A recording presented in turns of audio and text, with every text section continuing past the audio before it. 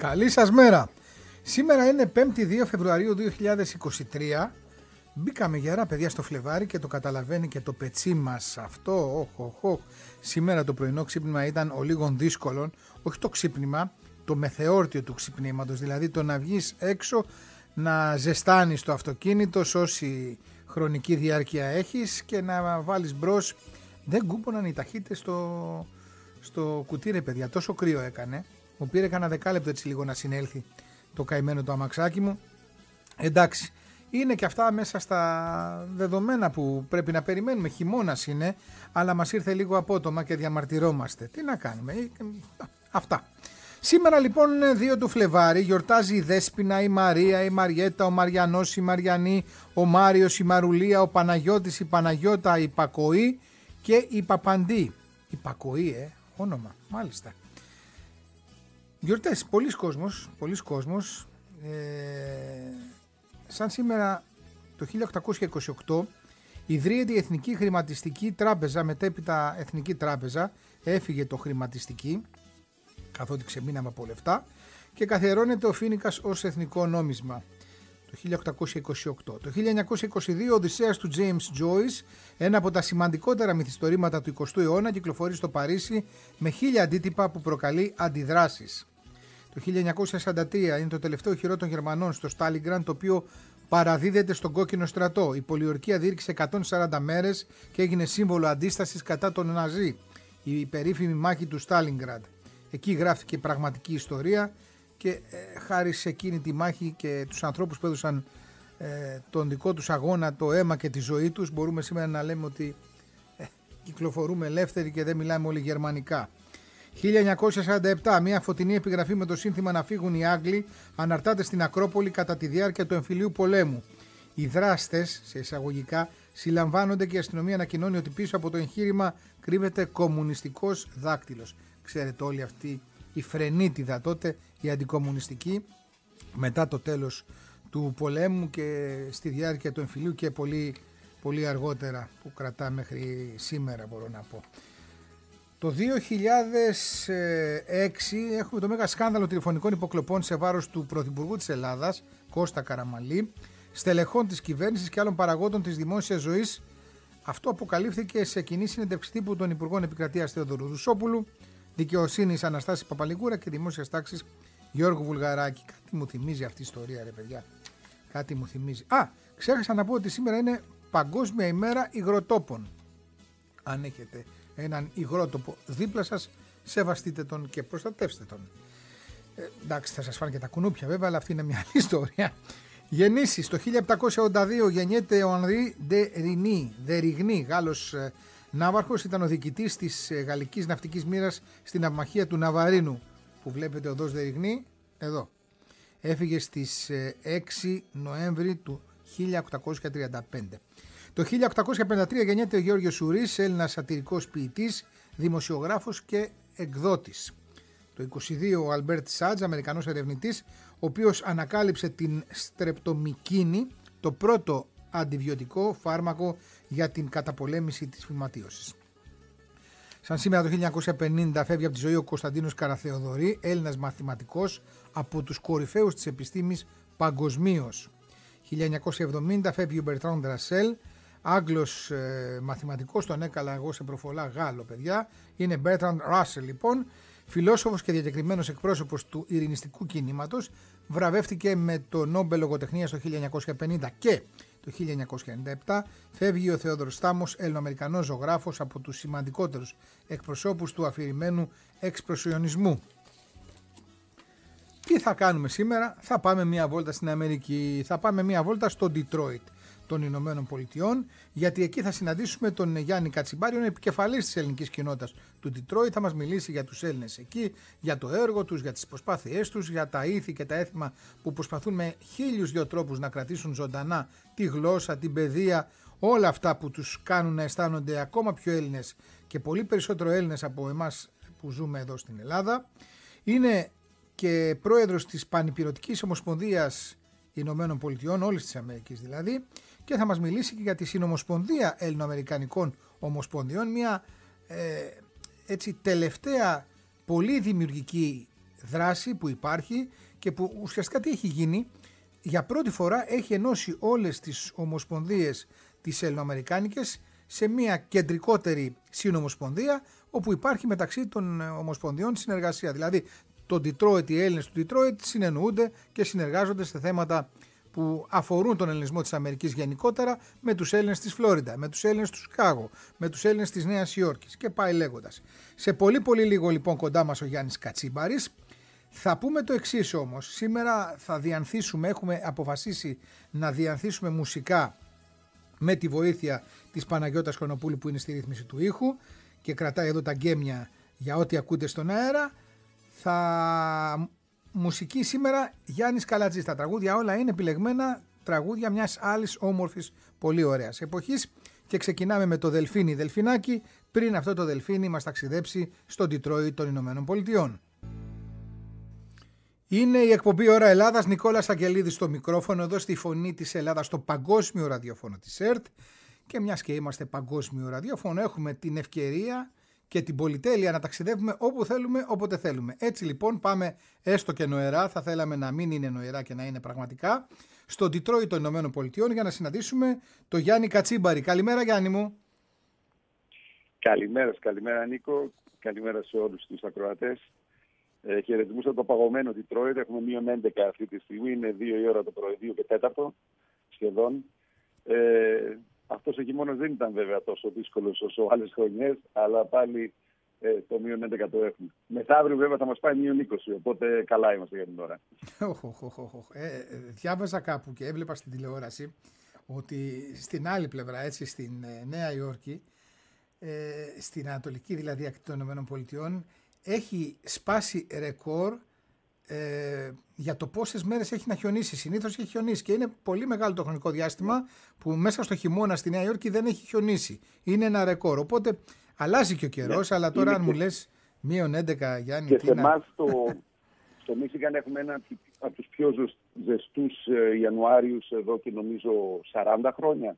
Ε, Ασχέτως αν είχαμε προχθές μείον 18 και σήμερα μείον 11 ε, είναι ένας από τους πιο ζεστούς Ιανουάριους. Ναι, ναι. Είναι ενδιαφέρον αυτό για τους ε, Αμερικανούς που έχουν ακόμα ένα ποσοστό οι οποίοι δεν πιστεύουν στην κλιματική αλλαγή. Οπότε, Α, ναι. ε, ναι, είναι ενδιαφέρον θέμα. Ε, τότε τι είναι αυτό, είναι φαινόμενο όπου το, ό,τι βρέξει κατεβάζει; Τέλος πάντων, εντάξει. Είναι ένα θέμα και αυτό. Αλλά ε, είστε και βόρεια εκεί, βρε παιδί μου. Είναι δηλαδή, εντάξει, ε, φυσιολογικά εκεί κάνει κρύο. Ναι, εμείς βρισκόμαστε σχετικά βόρεια. Δεν έχουμε ε, ενδιαφέρον, δεν έχουμε τόσο πολύ χιόνι όσο δέχεται η Βοστόνη, ας πούμε, η Νέα Υόρκη, αλλά μας κάνει πάρα πολύ κρύο γιατί μας έρχεται το κρύο από τον Καναδά. Ε, μας χωρίζει με τον Καναδά ένα ποτάμι. Δεν ξέρω αν ξέρετε λίγο τη γεωγραφία. Ε, είναι η μία πλευρά είναι το Detroit και η απέναντι πλευρά είναι το Windsor του Καναδά, το Windsor του ονταριου Και γενικά μας φέρνει. Θύμησε μου, Γιάννη, πώς λέγεται το ποτάμι αυτό, γιατί το έχω ξεχάσει. Detroit λέγεται και το ποτάμι. Okay. Βασικά η πόλη Ο έχει το όνομα από το, ναι, από το ποτάμι. Ε, στα γαλλικά είναι Detroit και το Detroit έχει γίνει στα αγγλικά Detroit. Ε, το Michigan ήταν ε, γαλλική απικία ναι. ε, πρώτα, πριν ε, την πάρουν οι Άγγλοι και το Detroit σημαίνει ε, ε, η ευθεία, ήταν ευθύ, είναι ευθύ το ποτάμι που πάει από τη μία λίμνη στην άλλη και αυτή την ονομασία είχαν δώσει οι Γάλλοι. Ε, και έτσι έχει πάρει την ονομασία και η πόλη από το ποτάμι βασικά. Ξέρεις, εδώ στην Ελλάδα εμείς και παγκοσμίως ενδεχομένως όταν ακούμε Detroit σκεφτόμαστε αυτοκινητοβιομηχανία. Στο πρώτο μας έρχεται στο μυαλό, όπα, η πόλη των αυτοκινήτων, οι αυτοκινητοβιομηχανίες, η πρωτεύουσα των αυτοκινήτων στην Αμερική. Κάπως έτσι, αλλά σίγουρα το Detroit κρύβει και άλλες αρετές μέσα του, έτσι. Κοιτάξτε, ε, απόλυτο δίκαιο. Είναι το κέντρο της αυτοκινητοβιομηχανία. Ε, θα έλεγα τώρα πια βέβαια ε, το κέντρο είναι και στην Γκάρδη της Γερμανίας. Είναι σίγουρα ε, η Απο, μέρα της Ιαπωνίας και η Σεούλ της ε, της Κορέας και βέβαια αναβαθμίζεται και περισσότερο η Κίνα. Αλλά το 1906 στο Detroit έφτιαξε την πρώτη αυτοκινητοβιομηχανία ο Henry Ford και έτσι εξελίχθηκε και η πόλη και παραμένει ακόμα ε, μια πολύ δυνατή βιομηχανική περιοχή Τώρα πια έχει αλλάξει λίγο ας πούμε, το μείγμα της βιομηχανίας. Ε, έχει πάρα πολλούς ε, ε, πούμε, suppliers που κατασκευάζουν κομμάτια για την αεροναυτιλική. Mm-hmm. Ε, υπάρχουν και άλλα κομμάτια της βιομηχανίας, αλλά ακόμα εδώ βρίσκονται οι τρεις μεγάλες ε, αυτοκινητοβιομηχανίες. Η μία δεν είναι πια αμερικανική, η General Motors και η Ford και ως τρίτη η Chrysler, η οποία πια είναι ευρωπαϊκή, ανήκει στην, στην Peugeot, λέγεται Stellantis, και την είχε αγοράσει αρχικά η, η Fiat πριν, ε, πριν ορισμένα χρόνια, πριν περίπου 10 χρόνια και τώρα πια έχει πουληθεί στην Peugeot, οπότε η μία της τρεις τροπιά είναι ευρωπαϊκή. Αλλά ακόμα βέβαια δεσπόζει η αυτοκινητοβιομηχανία στην, ε, στην οικονομία της περιοχής. Και είναι ενδιαφέρον να το πω και αυτό ότι το 1906 το, το Michigan γενικά ε, θυμίζεται για τα δάση του, για την φύση του. Ε, έχει τριγύρω δύο τεράστιες μεγάλες λίμνες, τη λίμνη του Michigan, τη λίμνη του, του Χιρών και πάνω τη λίμνη του Superior, που είναι νομίζω ε, μία από τις μεγαλύτερες λίμνες στον κόσμο, η τρίτη ή η τέταρτη. Τέλος πάντων, είναι γεμάτο δάσος και έχει πάρα πολύ ξυλία. Και τα αυτοκίνητα στην αρχή του περασμένου αιώνα τα φτιάχναν από ξύλο. Γι' αυτό και ο Χένρι Φόρντ ε, διάλεξε το Detroit για να ανοίξει την αυτοκινητομηχανία για να έχει τις πρώτες ύλε ε, πλάι του. Αυτός ήταν ο κύριος λόγος που ξεκίνησε η Ford εδώ πέρα. Καλά, Γιάννη, μας έχεις αφήσει άναυδος με την πληροφόρηση, τη λεπτομέρεια. Πραγματικά δηλαδή, ε, πρώτα απ' όλα, μας είπες για την αυτοκινητοβιομηχανία, μας είπες για τον καιρό, μας είπες για το πώς είναι δομημένη η περιοχή του Detroit, το εργασιακό, τα είπες όλα. Δηλαδή, ε, να σε ρωτήσω, ε, επαγγελματικά σε ποιο χώρο κινείσαι; Αυτοκινητοβιομηχανία εννοείται. Είμαι ε, μηχανολόγος μηχανικός και έχω σπουδάσει και έχω και ένα πτυχίο στην αεροναυτιλική και έκανα ένα μικρό ταξιδάκι στην αεροναυτιλική αλλά γύρισα πάλι πίσω στην αυτοκινητοβιομηχανία από την οποία ξεκίνησα και γι' αυτό βρίσκομαι και στο, και στο Detroit.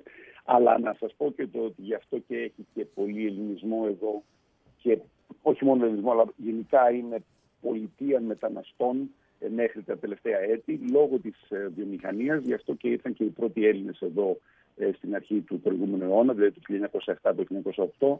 Ε, ήρθαν από την Ανατολική Ακτή, από τη Βοστόνη, από τη Νέα Υόρκη, όταν ανοίξαν οι δουλειές εδώ πέρα της Ford, άρχισαν να έρχονται εδώ πέρα και οι, και οι πρώτοι Έλληνες στην περιοχή. Ναι. Και οι πρώτοι υπηρώτες. Μια που ε, πριν ε, είπε στην ιδιότητά μου ως πρόεδρος της Πανεπιστημιακής Ομοσπονδίας Αμερικής, ε, οι πρώτοι πυρώτες ε, ήρθαν στην Αμερική, στην περιοχή της Βοστόνης, ε, αρχίσαν να κατοικούν δηλαδή, στην περιοχή της Βοστόνης, στην περιοχή του Γούστε, στην περιοχή του Μάντσεστερ του Νιου και αυτές οι βιομηχανικές πόλεις, να το πούμε και αυτό, και αρχίσαν στη, γύρω στο, 2000, στο 1908, 1910, αρχίσαν να έρχονται όλο πιο μέσα στις μεσοδυτικές πολιτείες, Midwestern States που, ε, που λέμε εμείς, δηλαδή στην περιοχή του Detroit του Michigan, στην περιοχή του St. Louis, στο Missouri, που ανέβαινε πολύ η βιομηχανία τότε.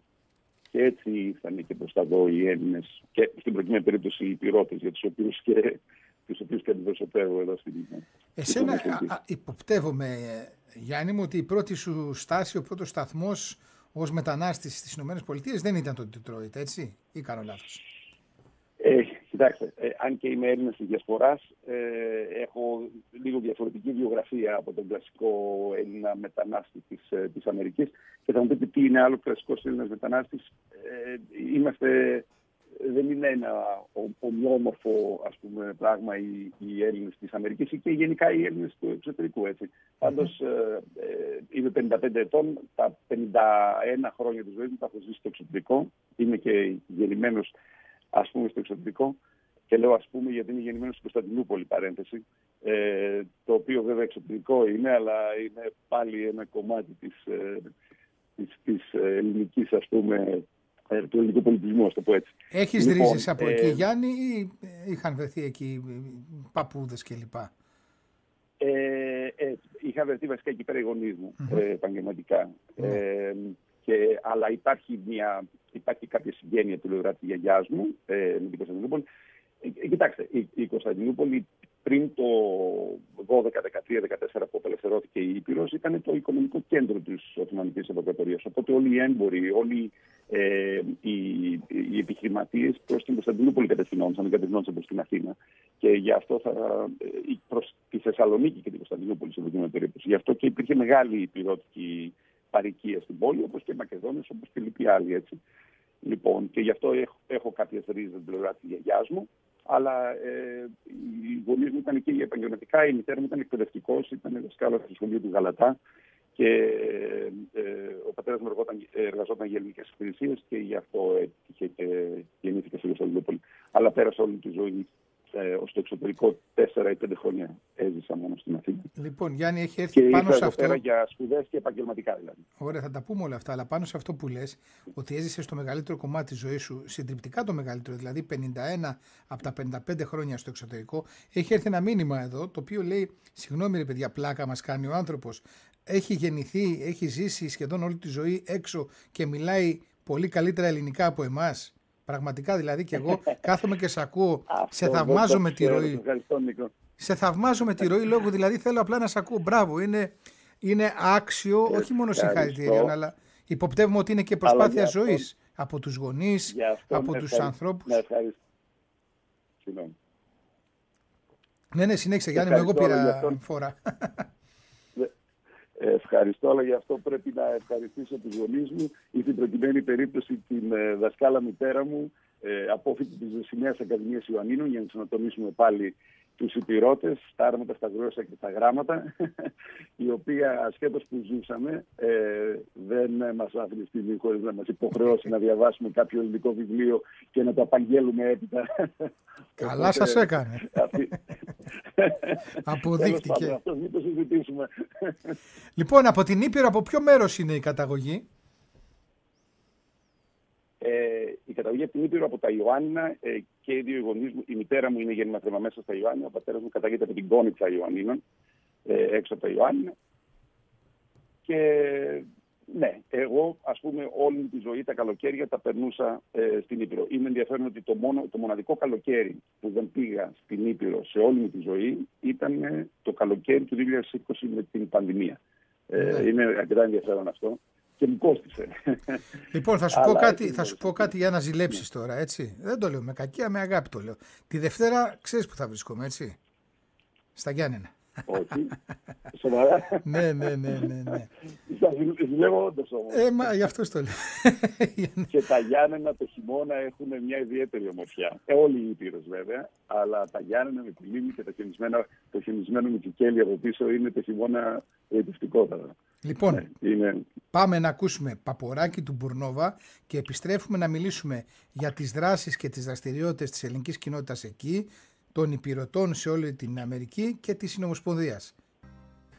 Καλή σας μέρα ολούθε και όχι μόνο καλημέρα και καλησπέρα γιατί είμαστε και στη ζώνη της Αυστραλίας, εδώ στην Ευρώπη καλημέρα και καληνύχτα για την Αμερική. Ταλαιπωρούμε έναν άνθρωπο έτσι, τον Γιάννη Κατσίμπαρη, τον πρόεδρο της Πανεπιστημιακής Ομοσπονδίας Αμερικής, 2-2.30 το πρωί. Τι ώρα είναι εκεί; Είναι 2 και 27 λεπτά αυτή τη στιγμή, αλλά δεν με ταλαιπωρείτε καθόλου. Είναι ευχαριστήσή μου να μπορέσω να πω δύο λόγια μαζί σου, Νίκο. Ευγενής πρέπει να είναι και η σύζυγος που δεν έχει αρχίσει από μέσα να φωνάζει, έτσι και τα παιδιά.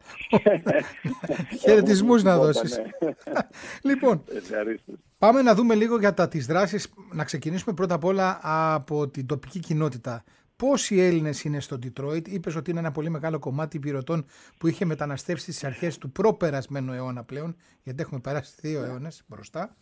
Και τώρα είναι δυναμική η παρουσία των Ελλήνων εκεί, έστω και πρώτης, δεύτερης και τρίτης γενιάς. Τρίτης και πάμε για τέταρτη, θα έλεγα. ε, είναι η παρουσία των Ελλήνων στο Μίσιγκαν, η πολιτεία στην οποία ανήκει το Ντιτρόιτ το Μίσιγκαν. Η παρουσία είναι πολύ δυναμική. Ε, ιδιαίτερα για το Detroit έχουμε την, ε, μια περιοχή μέσα στο κέντρο, στην καρδιά του Detroit, το λεγόμενο Greek Town, το οποίο Greek Town είναι ε, ε ιστορικό μέρος της, της πόλης και αναγνωρισμένο από την πόλη δηλαδή και η ονομασία του είναι Greek Town. έχουμε την Monroe Street η οποία θα δείτε τις πινακίδες γραμμένες στα ελληνικά, ο οδός Monroe. είναι ο καθεδρικός ναός του Ευαγγελισμού μες στην καρδιά της πόλης, ε, εκεί που τελειώνει το Greek Town είναι ο καθολικός ναός που δεσπόζει. Ε, έχουμε δηλαδή αρκετά δυναμική παρουσία και βέβαια Έλληνες της ε, τρίτης και της τέταρτης γενιάς που θα δείτε διάστατους σε όλο το Μίσιγκαν και σε πολιτικές θέσεις.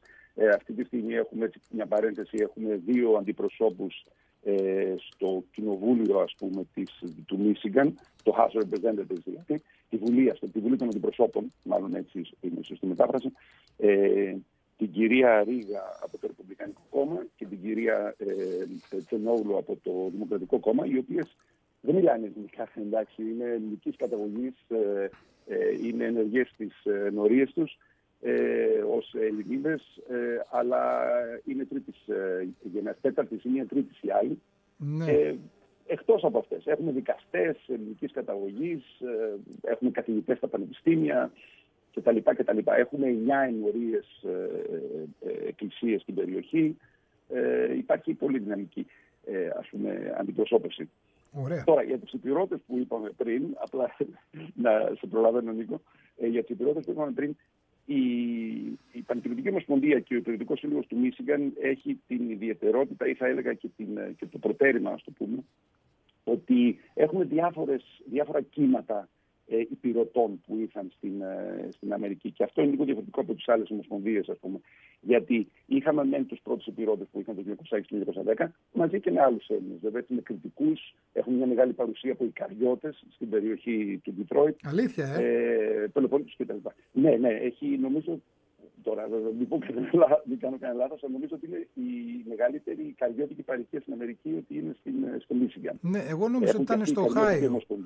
Νόμιζα ότι ήταν στο Οχάιο. Δεν ε, ξέρω ότι υπάρχει και στο Οχάιο πολύ μεγάλη κοινότητα. Υπάρχει. Και στη Νέα Υόρκη, στο, στο Long Island έχει μεγάλη κοινότητα. Σωστά. Η Ομοσπονδία αντιπροσωπεύει, η Ομοσπονδία των Ικαριωτών όπως και των Υπηρωτών αντιπροσωπεύει νομίζω πάνω από 20 συλλόγους. Ε, και έχει σίγουρα μεγάλη στο Οχάιο, γιατί νομίζω το τελευταίο συνέδριο το κάναν στο Οχάιο, οπότε σίγουρα δίκιο έχεις. Αλλά σίγουρα μία από τις μεγαλύτερες είναι και του, και του Ωραία. Ε, Τέλος πάντων, ε, εμείς Μιλάω από ενδιαφέρον έτσι, για τα παιδιά μου. Έχουν καριώτικη ρίζα, γι' αυτό το λέω έτσι. Και... Σοβαρά. ναι, ναι, ναι. ε, τότε, κύριε πάρα πολύ ωραία. Εμείς στα καλοκαίρια ε, που πηγαίνουν στους, ε, ε, στα πανηγύρια και θυμίζονται για τους φορούς τους. Γιατί έχω, έχω φίλους εδώ πέρα οι καριώτες καταγωγής που μου έχουν... Ε, δεν έχω πάει. Ωραίο νησί, υπέροχο νησί και υπέροχοι άνθρωποι. Υπέροχοι άνθρωποι. Ναι, και υπέροχοι άνθρωποι. Και ο Νόβι, έτσι, από ό,τι έχω ακούσει και από ό,τι έχω διαβάσει.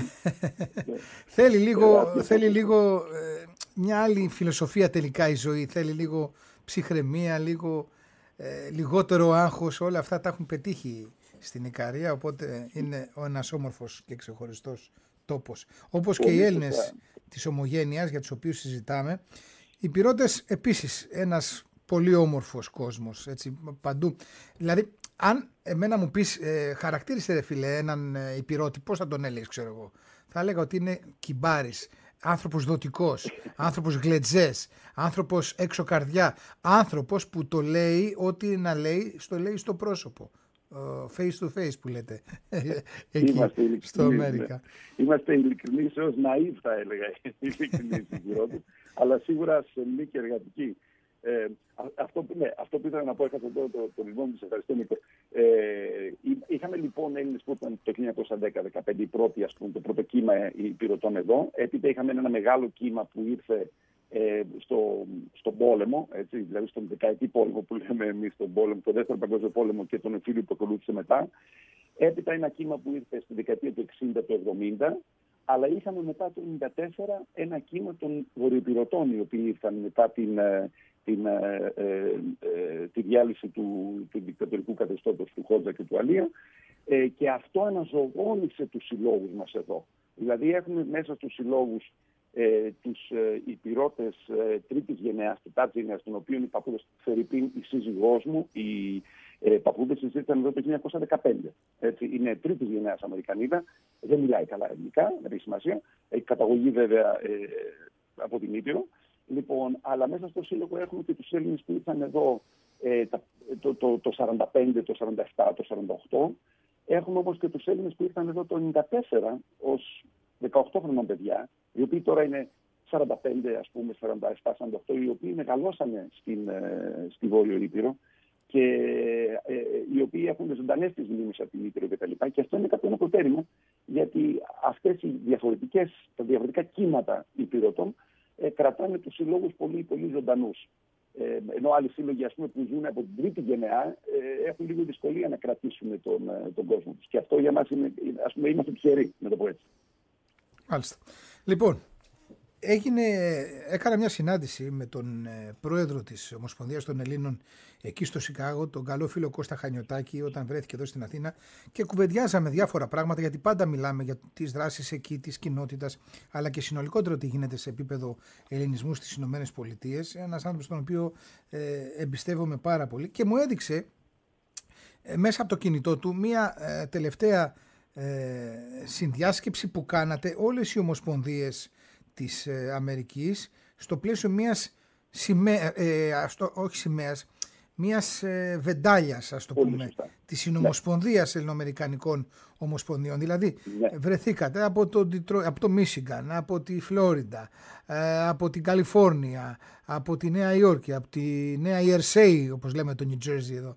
Όλα αυτά και έχει ενδιαφέρον να το κουβεντιάσουμε αυτό, γιατί έγινε και σε αυτή τη χρονική περίοδο και τι είναι αυτό που ε, νέοι άνθρωποι σε ε, αντιλήψεις, γιατί ξέρεις τώρα έχουμε βαρεθεί και το παλιό παλιό, χωρίς να λέμε ότι σκοτώνουν τα γέρικα άλογα, αλλά θέλει φρεσκάδα η όλη ιστορία, θέλει νέα μυαλά, θέλει άτομα τα οποία έχουν ζήσει και εκεί στην Αμερική, ξέρουν και τι εστί Αμερική και δεν ενδιαφέρονται μόνο για τα του χωριού πώς θα κατηθεί ζωντανό σε κομμάτι ιδεολογικό, φιλολογικό, φιλοσοφικό και συναισθηματικό το χωριό. Θέλει μια άλλη διαδικασία πλέον. Και φαίνεται μέσα από αυτή την προσπάθεια ότι κάτι τέτοιο γεννάται, αν δεν κάνω λάθος. Θα ήθελα να μου πεις.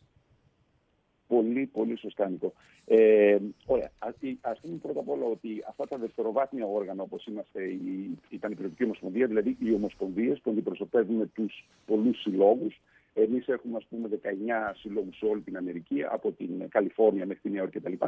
Έτσι αντιπροσωπεύονται και οι άλλοι. Δηλαδή, έχουμε ομοσπονδίες ε, εθνικοτοπικές, όπως δηλαδή η Πανεπιστημιακή, η Πανμακεδονική, η Παναρκαδική, ε, η Πανκριτική, πολύ δυνατή ομοσπονδία, ε, η, Πανικαρ, η Πανικαριώτικη, όπως ε, είπαμε πριν, κλπ. κλπ. Έχουμε έπειτα ένα, ένα δεύτερο σκέλος ομοσπονδιών που είναι οι ε, Ομοσπονδίες των Πολιτειών, δηλαδή έχεις, όπως πολύ καλά έφερες στο παράδειγμα του Κώστα του Χανιωτάκη, ο οποίος είναι πρόεδρος της Ομοσπονδίας Ελληνικών Σωματείων Ιλινόη, δηλαδή αντιπροσωπεύει όλα τα ελληνικά σωματεία της πολιτείας του Ιλινόη. Υπάρχει η ε, πολύ δυνατή Ομοσπονδία της Νέας Αγγλίας, ε, του φίλου του Βασίλη του Καυκά, που αντιπροσωπεύει τα κρατήδια της Νέας Αγγλίας, τη Μασαχουσέτη, Rhode Island, Connecticut, ε, Maine, Vermont, ξέρω New Hampshire. Λοιπόν, υπάρχει επίσης δυνατή ομοσπονδία του Χιούστον, ο φίλος ο Γιάννης Ρομεδιάκης που αντιπροσωπεύει το Χιούστον και τις νοτιοανατολικές πολιτείες. Δηλαδή, είναι οι εθνικοτοπικές ομοσπονδίες, είναι και ομοσπονδίες πολιτιών. Και έπειτα υπάρχουν και επαγγελματικές, όπως το χάρη η Ομοσπονδία ε, Ελλήνων ε, ε Γιατρών ε, της Αμερικής. Δεν υπάρχει δικηγόρο, από ό,τι ξέρω. Λοιπόν, τέλος πάντων, που αντιπροσωπεύει, ας πούμε, συλλόγους γιατρών σε κάθε πολιτεία και όλε μαζί κάνουν την, ε, την Ομοσπονδία. Ναι. Ε, υπήρχε αυτή η ανάγκη να, ε, να ενωθούμε κάπως, να το πω έτσι, ε, γιατί δεν υπήρχε κάποιο όργανο το οποίο ε, ε, ε να, να μας αντιπροσωπεύει σαν συνομοσπονδία, ας πούμε. Και τώρα να κάνω μια μικρή παρένθεση, το θετικό της πανδημίας ε, είναι ότι μάθαμε να λειτουργούμε ε, διαδικτυακά. Ναι. Δηλαδή να έχουμε τα Zoom meetings, τα virtual meetings. Έτσι. Βέβαια, λοιπόν, βέβαια, βέβαια, και βέβαια. αυτό μας, μας έφερε πιο κοντά. Να λέμε και, είμαι αισιόδοξος άνθρωπος λοιπόν, και μου αρέσει να λέω και τα θετικά σε μια τέτοια τραγική κατάσταση όπως η πανδημία. Ε, και αυτό μας έκανε και γνωριστήκαμε διαδικτυακά μεταξύ μας οι πρόεδροι των Ομοσπονδιών. Γιατί όταν, ας πούμε, πριν πέντε χρόνια ή 7 χρόνια θα έπρεπε να κάνουμε ένα συνέδριο, ας πούμε, σε κάποιο γεωγραφικό σημείο της Αμερικής για να συναντηθούμε, ε, το οποίο ήταν λίγο αδύνατο να μπορέσουν όλοι μαζί να Μιλάμε, παρένθεση, μιλάμε για γύρω στις 25 ομοσπονδίες. Ναι. Λοιπόν, Πάντως η διαζώση επαφή είναι πολύ σημαντική, για να το πούμε και αυτό. Δηλαδή, μην αντικαταστήσουμε τα πάντα από το διαδίκτυο. Α, ωραία, τι έγινε, βρεθήκαμε. Νομίζω ότι αυτό είναι ένα εργαλείο για να μπορούμε να μαθαίνουμε ένας καλύτερα τον άλλον, έτσι ώστε όταν γίνει αυτή η συνάντηση από κοντά, να έχουμε οπτική και σωματική επαφή, να μιλάμε, να κουμπιόμαστε, να συζητάμε, να χαιρετιόμαστε, ε, να ξέρουμε και ποιος είναι ο άλλος. Αυτό νομίζω είναι το σημαντικό εργαλείο της όλης ιστορίας.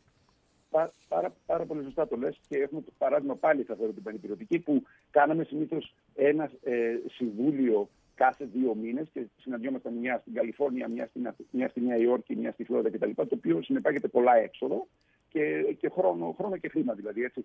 Τώρα κάνουμε ε, κάθε, τρί, κάθε, δηλαδή δύο φορές το χρόνο μόνο, κάθε τέσσερις μήνες κάνουμε, συναντιόμαστε ε, πρόσωπο με πρόσωπο και συναντιόμαστε κάθε τρεις εβδομάδες διαδικτυακά και έτσι κρατάμε μια πολύ καλή επαφή, αλλά έτσι μας ε, ανεβαίνει και η όρεξη να ξανασυναντηθούμε μετά από δύο μήνες το πω έτσι. Έτσι λοιπόν και με τις ομοσπονδίες ε, συναντιόμαστε ε, διαδικτυακά. Ε, καταρχήν η πρωτοβουλία ξεκίνησε από τρεις, τέσσερις, πέντε ομοσπονδίες, δηλαδή καθαρά roots ε, movement. Έτσι. Δηλαδή πραγματικά είπαμε μεταξύ μας τα παιδιά ε, κάτι πρέπει να κάνουμε, να, να, να πούμε τα προβλήματά μας προς τους ελληνικούς φορείς, να ε, συνειδηθούμε αρχικά και για εθνικά θέματα, γιατί τώρα το θέμα με, την, με, με τις προβοκάτσες των Τούρκων μας άναψε κάπως και ξεκίνησε πρωτοβουλία ε, και από το φίλο του Κώστα το Χανιωτάκη, τον πρόεδρο της Ομοσπονδίας Ιλινόη ε, και από ορισμένους άλλους προέδρους και από τρει-τέσσερι που αρχίσαμε τηλεφωνικά να μιλάμε μεταξύ μας ε, κάναμε μια αρχική συνάντηση καλώντας όλους τους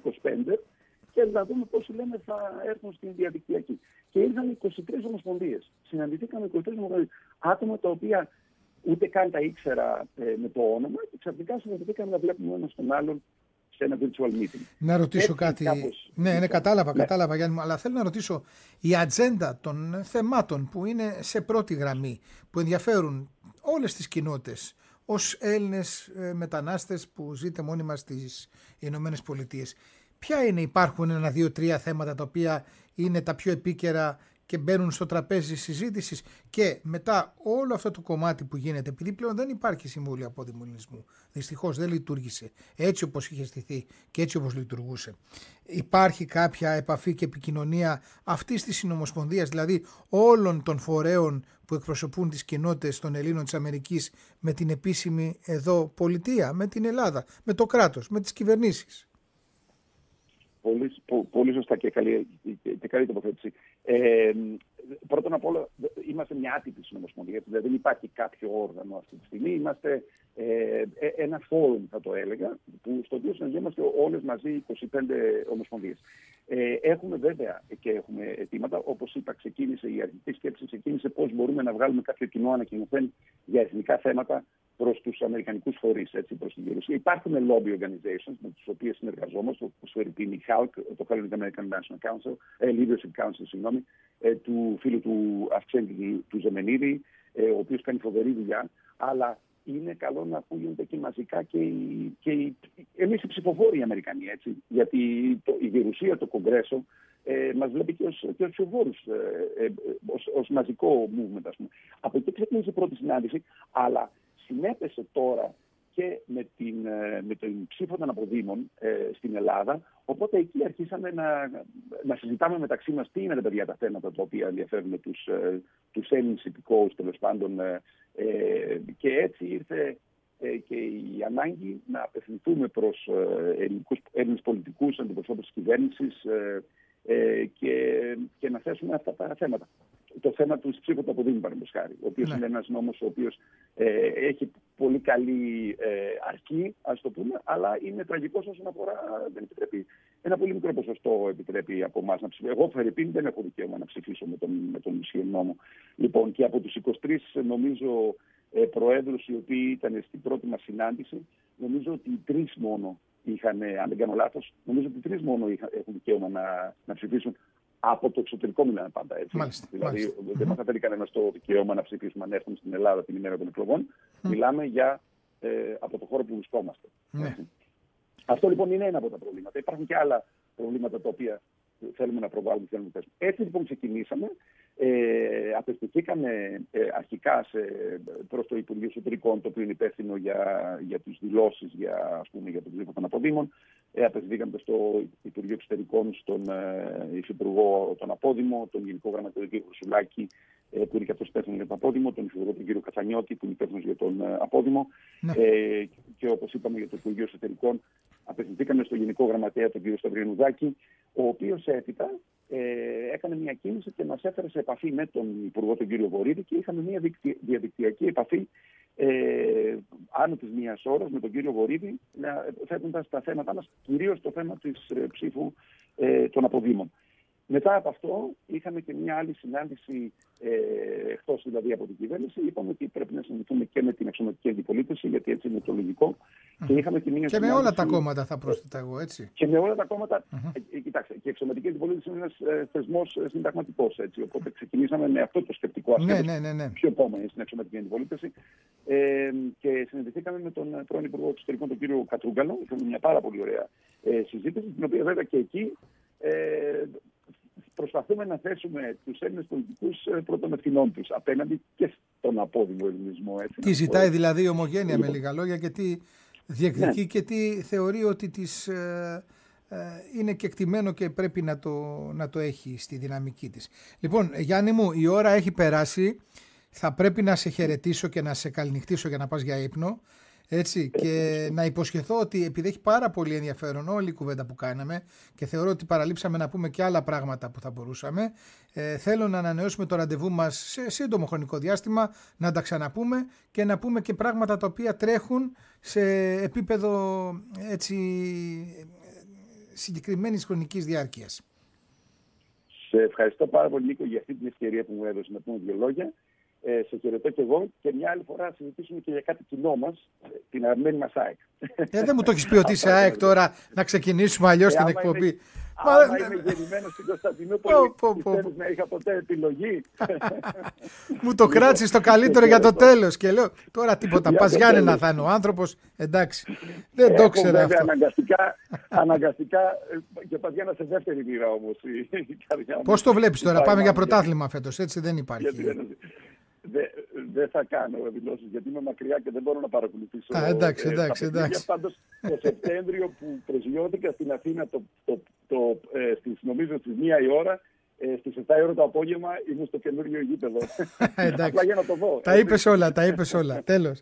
λοιπόν, άντε, καληνύχτα, καληνύχτα. Και όνειρα γλυκά. Σε ευχαριστώ πάρα πολύ. Καλημέρα, καλημέρα. Γεια σου. Λοιπόν, σε λίγο θα έρθει εδώ ο Γρηγόρης Νάνης. Δεν του πω τα δικά μου όνειρα, γιατί θα αρχίσει να μου λέει πάλι για την ΑΕΚ και θα τσακωθούμε. Ποτέ δεν τσακωνόμαστε. Αγαπιόμαστε, αλλά έτσι τα λέμε και τα κουβεντιάζουμε. Αθλητικά σε πολύ λίγο.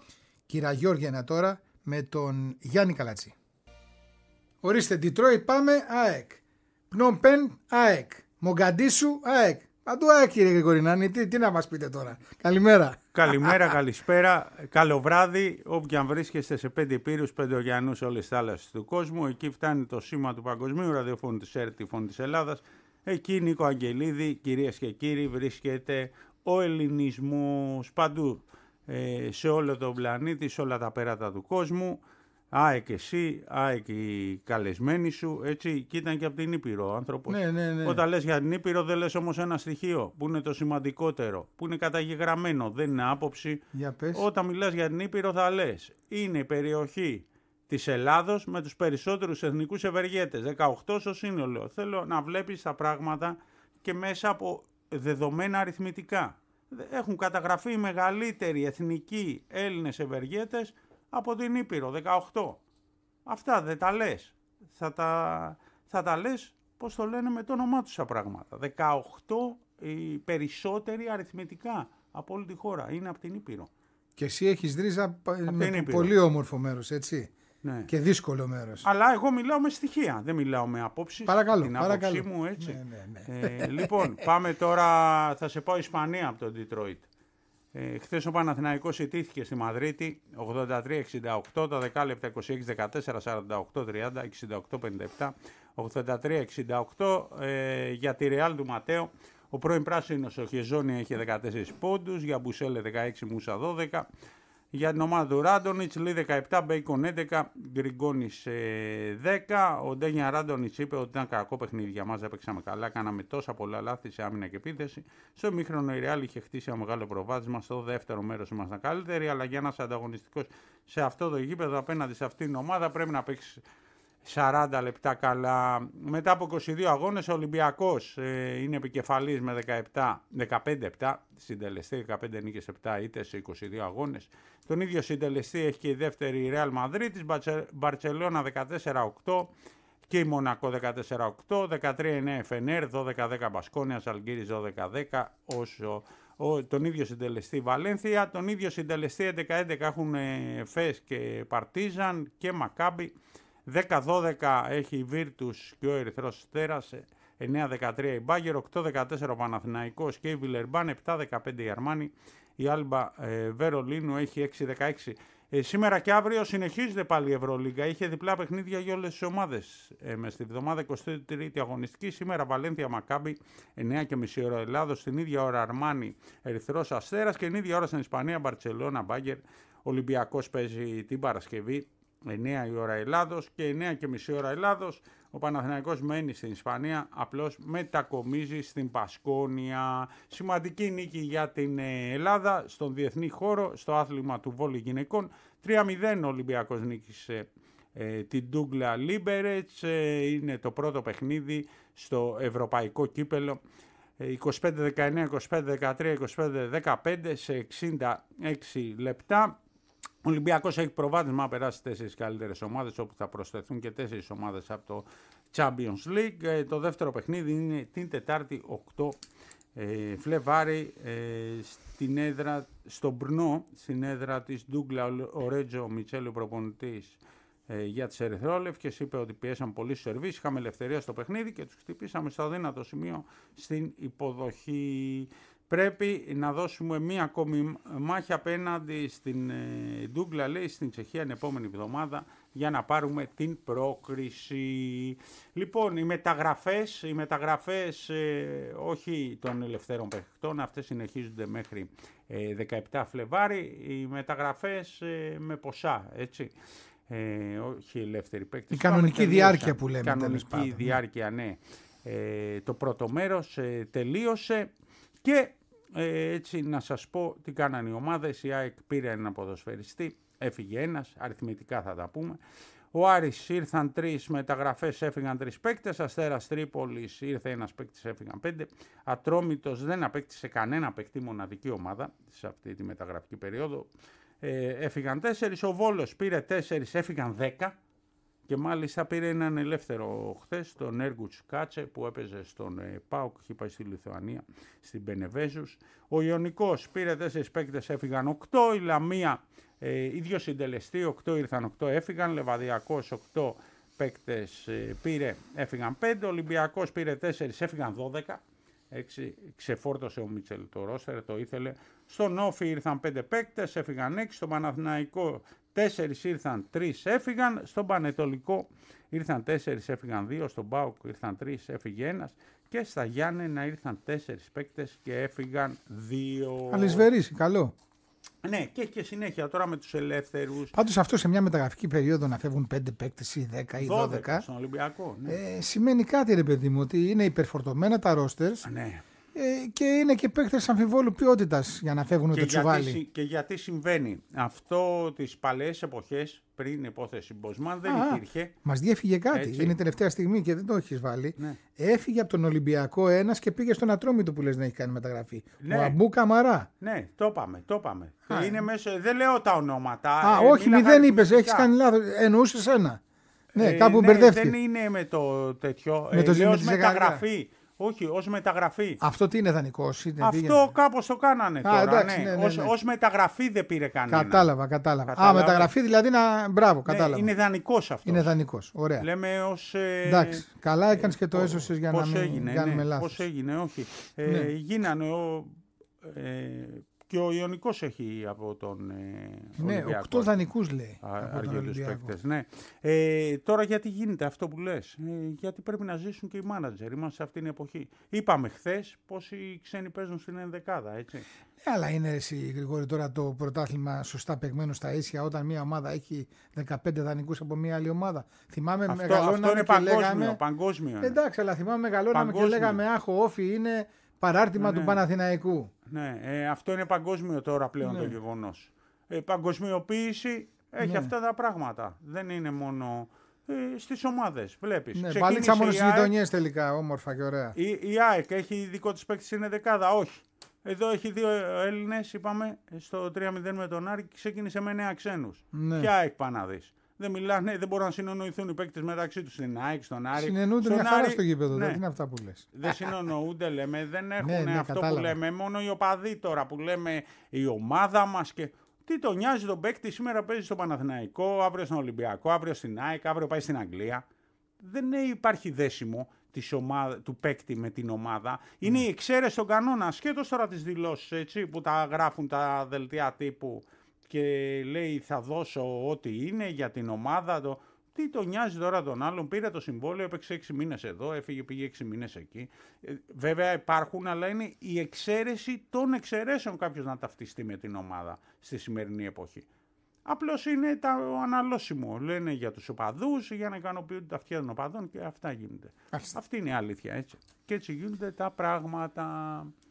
Λοιπόν, λοιπόν και αύριο μέρα είναι. Ναι. Ναι, και αύριο μέρα είναι. Καλή συνέχεια σε όλους και σε όλες. Τι ακούμε τώρα για αποφώνηση; Πρώτα απ' όλα ευχαριστήσουμε την Παναγιώτα Χρονοπούλου που μας κράτησε συντροφιά εδώ με τη ρύθμιση του ήχου και θα βάλει τώρα το τελευταίο τραγούδι από χαιρετιστήριο για σήμερα. Την Τζαμάικα του Γιάννη Καλατζητή, ωραίο τραγούδι, ρε παιδί μου. Έτσι. Πραγματικά από τα πολύ όμορφα. Να πούμε λοιπόν ότι έρχεται ο Προκόπης Αγγελόπουλος με τον Χρήστο Παγώνη και εμείς να ανανεώσουμε το ραντεβού μας για αύριο στις 9 που θα σας ταξιδέψουμε στην ελληνική ιστορία, στην ιστορία της ελληνικής επανάστασης μέσω Βραζιλίας. Παρακαλώ, αύριο, σε 9 ώρα Ελλάδας.